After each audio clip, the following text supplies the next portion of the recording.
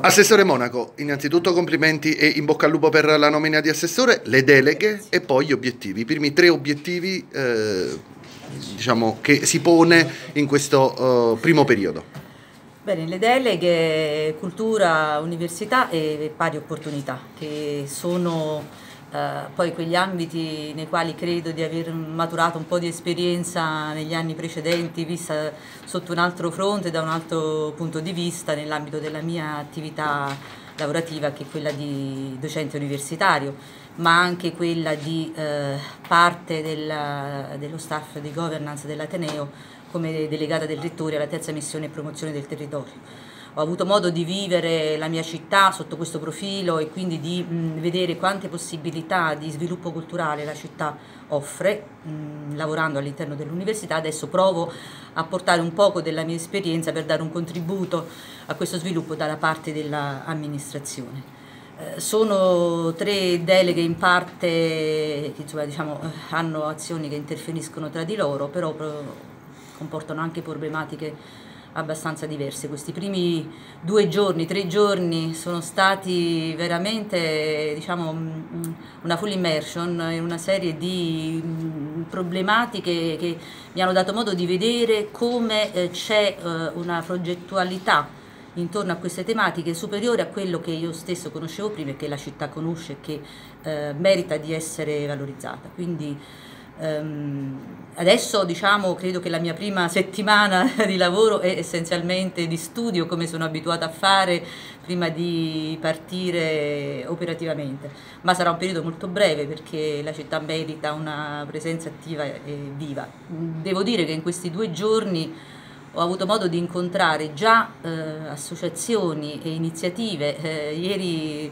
eh, sono state due presentazioni di libri stamattina alla biblioteca comunale dove ho incontrato tre associazioni, questa città è ricca di energie che mh, possono, dare, possono, fare la differenza, quindi mh, se mi chiede gli obiettivi, eh, sotto questo profilo gli obiettivi sono innanzitutto... Uno forse glielo suggerisco io, visto che ha parlato della biblioteca, magari inserire il riscaldamento in pianta stabile all'interno dello Quando stabile. ho detto che voglio, ho bisogno di studiare eh, le, i problemi, le posso dire che ho fatto già eh, una lunga seduta a Sant'Agostino per evidenziare quelli che sono i problemi di quella struttura. Eh, a settimana entrante, appena possibile, ne farò un'altra alla biblioteca. So che c'è questo problema perché mi era stato già segnalato da dalle associazioni che operano lì per il progetto Nati per leggere, ci sono i bambini, quindi è chiaro che è un problema che va assolutamente affrontato e risolto e in parte si intreccia anche con quanto ha detto il mio collega per il decoro urbano per la parte dell'accesso alla biblioteca e eh, ovviamente il terzo polo altrettanto importante eh, sarà San Leucio che a sua volta merita un'attenzione intensa diciamo.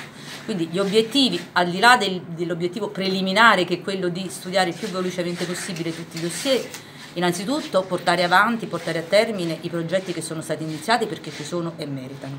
Uh, lunedì mattina per esempio ci sarà un primo tavolo di lavoro per un progetto approvato dal MIBACT sull'Appia Felix che è stato presentato da questa amministrazione già qualche anno fa, quindi si vede, cominciano a raccogliere risultati di un'azione che è stata intrapresa già da tempo. Quindi il mio primo dovere credo che sia quello di portare avanti bene quei progetti che sono stati iniziati e che adesso possono raccogliere dei risultati per la città.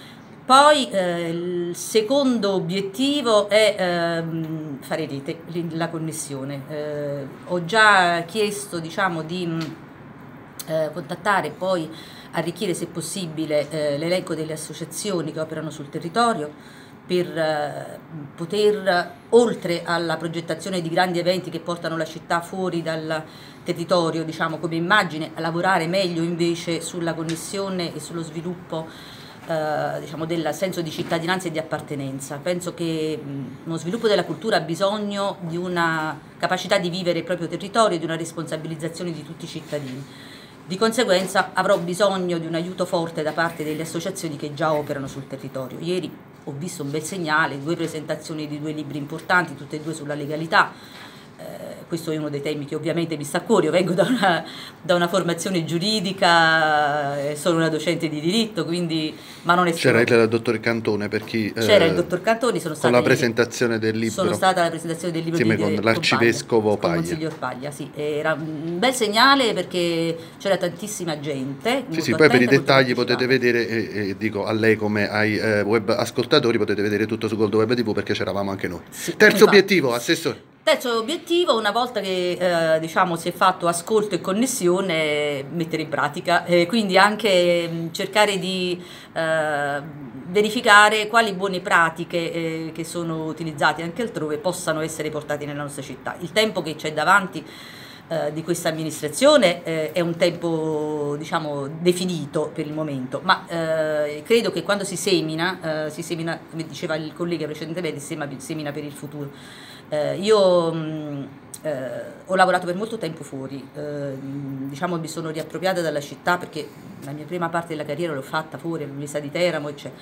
e diciamo che l'obiettivo è quello di eh, essere felice di tornare a dare un contributo nella mia terra, non per un fatto di campanilismo, ma per un senso di appartenenza. Io vorrei che questo senso di appartenenza, che è rimasto a me in tutti questi anni, anche a distanza eh, fisica, eh, potessi condividerlo con i cittadini. Quindi mm, l'obiettivo forte per me è eh, un avvicinamento eh, sotto il profilo ovviamente che mi compete della cultura, dell'università e delle pari opportunità tra l'amministrazione e il territorio.